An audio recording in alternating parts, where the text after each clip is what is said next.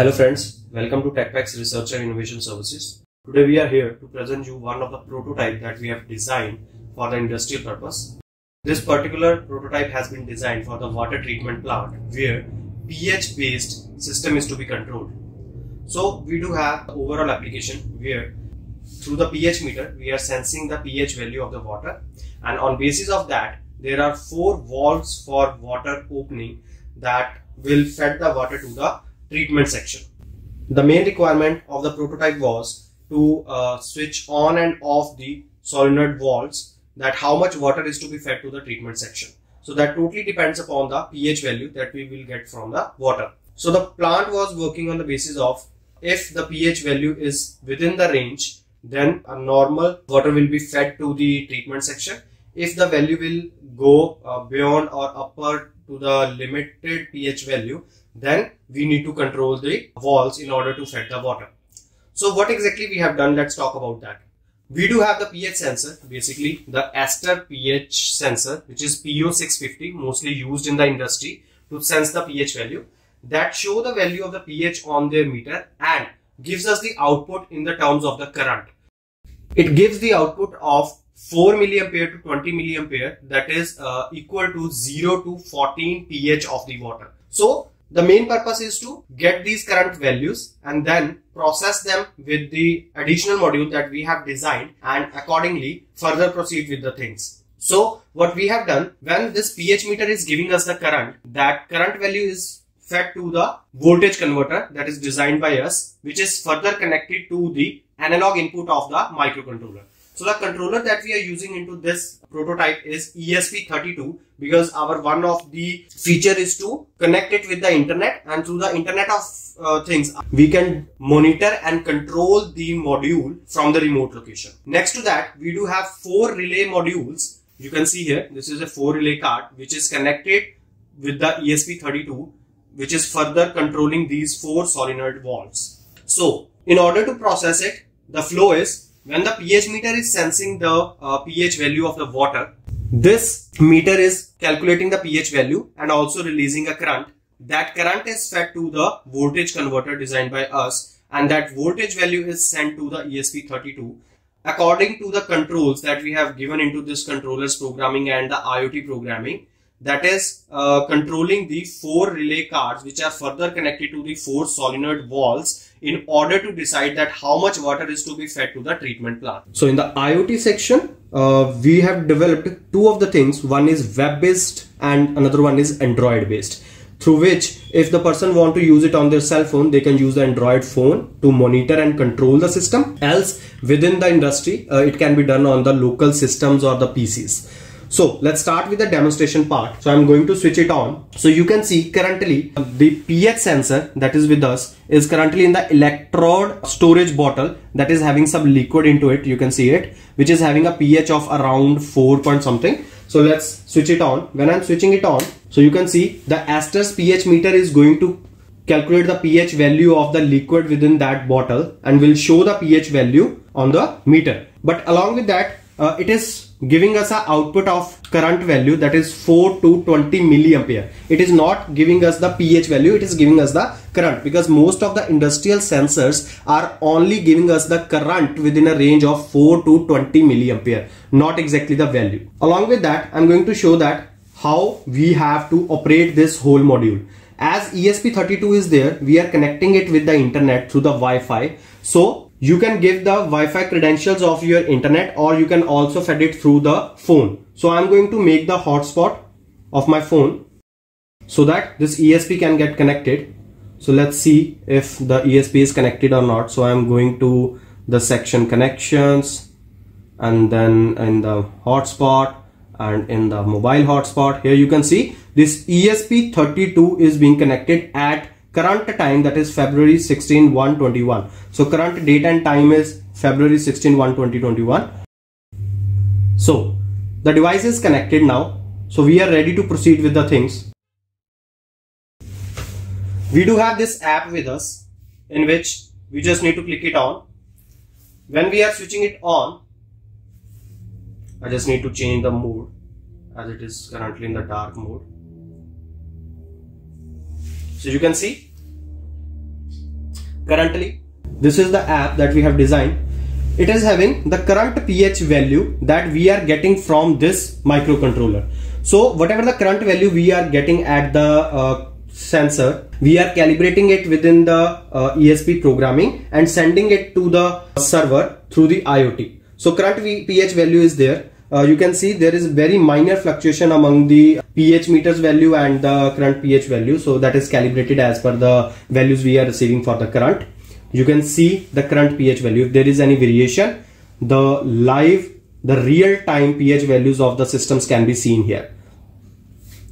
So next to that we do have two modules. One is automatic control manual control so one of the additional feature was in order to reduce the labor cost, they want to uh, control the system in the manual as well as in the automatic mode. So we have given two of the section, one is automatic, another one is manual. In the manual section, when we are going to the manual section, you can see all the four relays can be switched on or off. So as currently all the switched are off, so no device is on. So you can see here all the four LEDs over the relay card are off.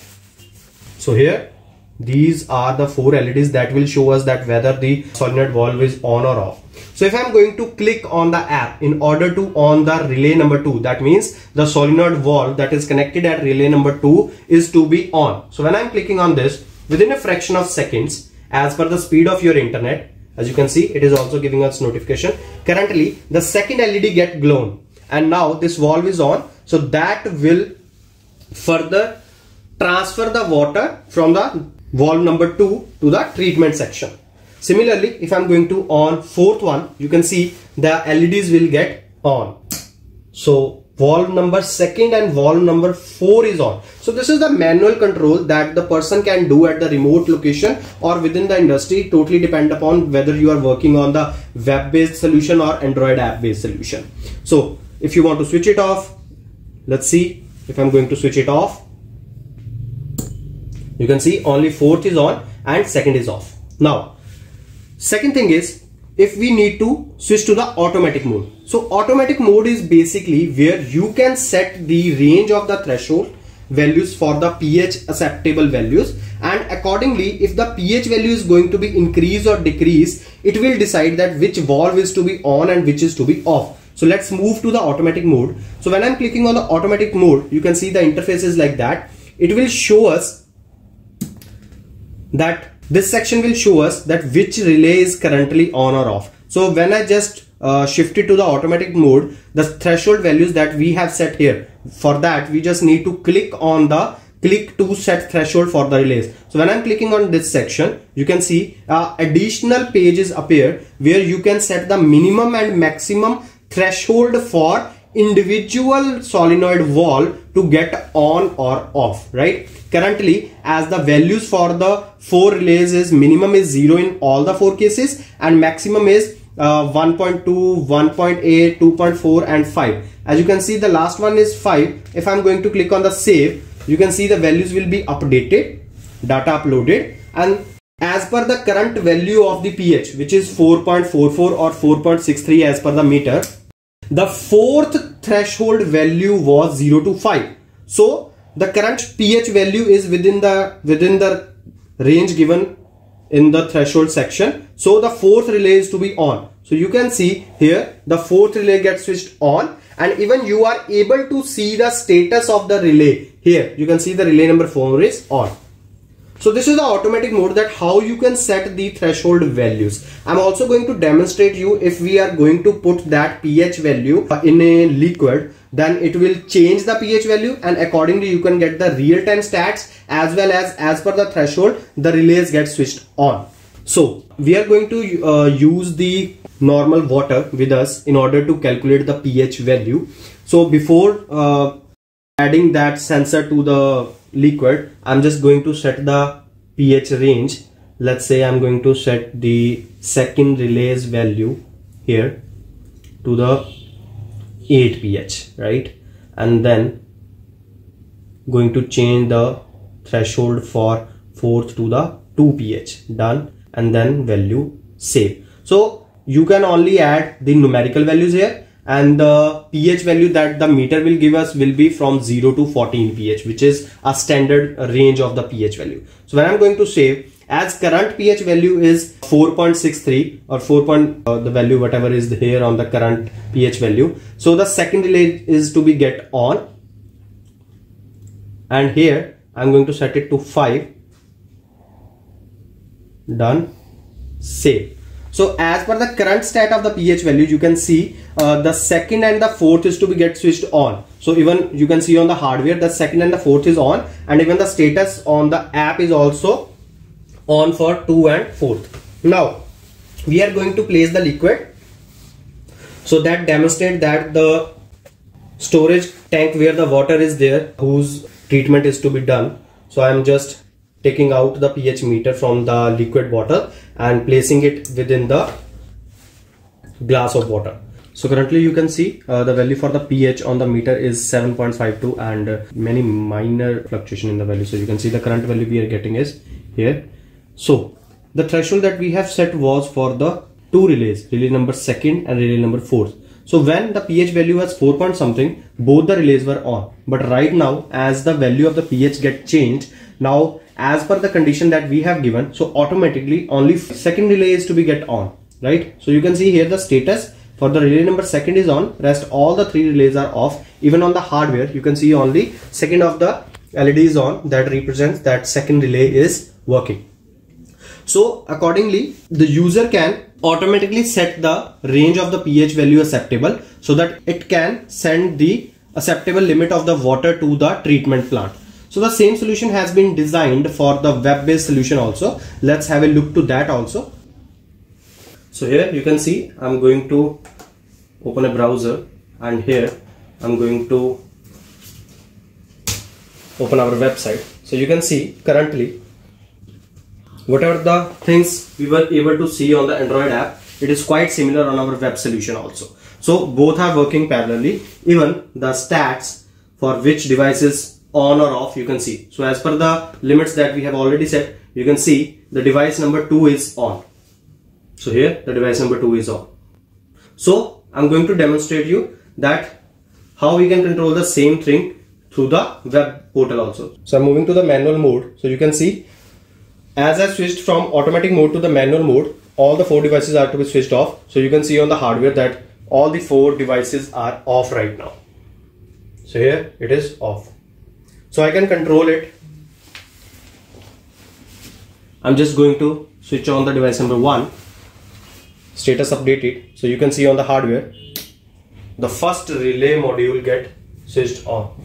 So you can see whatever the solution was there with the Android app the quite similar things can be done within the industry on the local PCs or the laptops uh, without having any Android application so you can run it on web as well as on the Android one. One more thing is uh, with us in order to see the records. Uh, here we have placed one button export log. Even you can see the same button over our app also so that you can get the 60 records which is updating the values in every 5 minutes. So you just need to click on the export button here. When you will click on the export button you can see record.csv has been downloaded. So when I will open it you can see it will open it in Excel and you will be able to see the records as per the date and time. So you can see today it's 16 and the time is already with us. So here the serial number, pH value and the timestamp with date and time mentioned over it is here. The total values here we received are 16 count. So this is how you can see the records. It is customized. So the currently the value has been set to 60. So it can be changed later on also. So modifications are still possible. An overall solution by using the different technologies like IoT, Android apps, web-based solution and embedded systems has been used to design a full water treatment plant system. So thanks, thanks for watching the video.